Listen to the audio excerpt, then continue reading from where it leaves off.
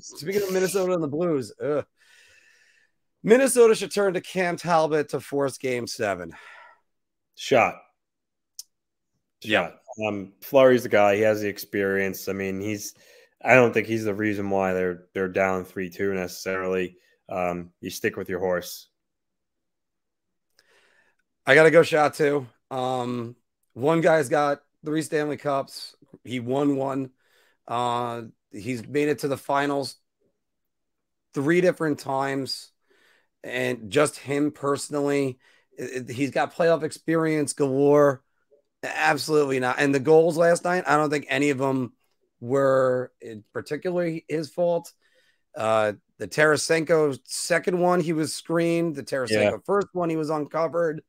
Uh, the, the O'Reilly goal was a rebound. No. And also, Cam Talbot is not going to Hall of Fame. Hate to break that news to everybody, but no, it's it's definitely definitely not.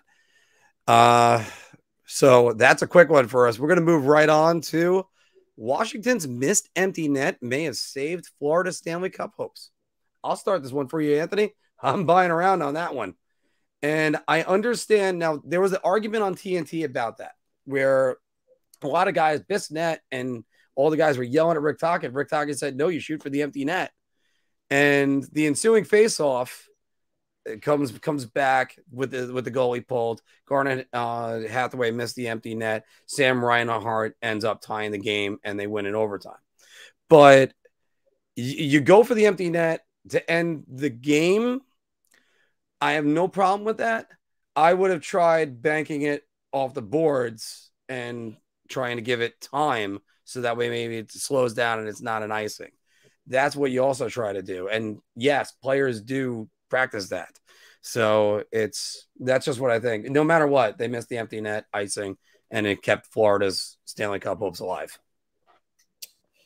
Yeah, um I'm gonna go beer just because even if let's say he hits that and they go up there three one, um, I mean, I know the Rangers down 3 1. It's not a good spot to be in, but out of all teams that can come back from a 3 1, um, I think it would be Florida because they have the firepower to do it. Um, but yeah, I get what you're saying. You know, you kind of missed the empty net and then, you know, face off in their own end, bam, tie game. Um, so it's easy to connect the dots there. But um, I just think that I wouldn't go as far as saying that it, you know, saved Florida's cup hopes because I think even if they lost that game, they still could have uh, ended up winning the series. But um, don't get me wrong, it definitely helped the Panthers' case, that's for sure. Uh, I I now I get what David's trying to say. It's like uh, whenever I put the shot icon yeah. up, yeah, it's right over yeah. your face. Yeah, I've apologized about that for weeks. I want to fix it, but on the other hand, it is kind of funny. Uh, however, it works better when there's three of us because then it's not in front of anybody's face. All right, Going on to, did you watch the Edmonton uh, LA game last night? Uh, I watched a portion of it. Yes. Wow, I I can't believe that game went to overtime. Yeah. Um, but it did, and then Mike Smith is actually keeping Edmonton in this series. I mean, I'll give him a little bit of credit, um, beer, but uh, I I still think if they had a better goalie, um, that the Oilers could probably win this series somewhat easily. Um, I think Mike Smith, um, they should have moved on for him last year. They brought back the same exact goaltending duo, um, which to me was a little ridiculous because it's not like they won the cup. You know, they they fell short of their goal, and you bring back the same goalies. Um, I don't, I, don't, I don't get that one. Um, but you know, yeah, he's he's for his age, you know, he still makes some good stops. He's he's not horrendous, but um, I think again, if they had a better goalie, they'd go further. You know, I got to give him credit too. I got to go beer, and he's he played really well last night. He's also made that misplay in game one, which kind of led to a goal. It's just, yeah, I don't get why they're why they're so they were so high in this goalie tandem partially because Peter Chiarelli put him in a bad spot. You know, yep. hey, I'm going to resign Mikko Koskinen for four years. Oh, okay, you're fired. you know, you yeah. should have told us that before you you did that. Yeah, but um, I mean, they lost 3 2 in overtime. Partially, the, their offense got them back in the game. Draisaitl on the power play with minutes remaining to tie it. And then a minute and a half in, Adrian Kempe gets Juice. his second of the game. Just, just wow.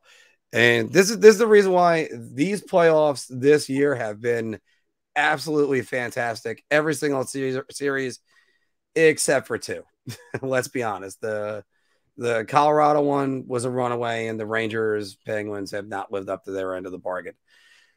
Moving on to the other Metropolitan Series, Boston Carolina will not have a road win. That the it's trending that way. The home team is winning both games, but I think it ends. I think Carolina ends the series in Boston. Um, I don't think Boston's going to force a game seven. I think Carolina is going to um, close it out. So I'll, I'll go shot. Okay. And then there's the angry face right behind. You're actually perfectly yeah. aligned with that. That is perfect. Um, I'm gonna go. I'm gonna go buying around. I'm gonna go the other way. Uh, hmm. I think Boston wins game uh, game six, and then uh, Carolina they whatever they drink before they get on the ice in oh, Carolina, oh, it is just amazing. They they dominate everything. They stifle the other teams. I did say originally uh, Boston in six, but they can't solve the goal. Speaking about not being able to solve a backup goaltender, uh, Boston just they've been able to do it. So uh, I haven't been able to do it. They've been able to do it in Boston. So we'll go with that one. And and by the way, all road, all home wins for every single team in that series. I, it's great that I put all these extra chyrons in, but then I end up forgetting to bring them back up. And then, of course, really the game to talk about. And I still can't believe that I'm talking about it like this.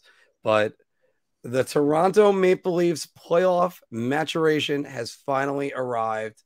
I see to you, Mr. LaRocco.